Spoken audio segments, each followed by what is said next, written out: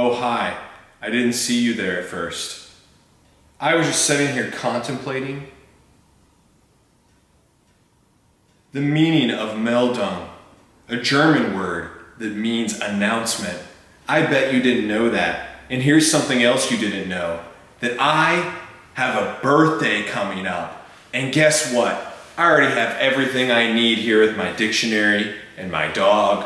So why would I want more presents? What I really want is to dedicate my birthday to church planting in a place where Jesus is not known yet, a place called Bihar, India. So that's what I will be doing.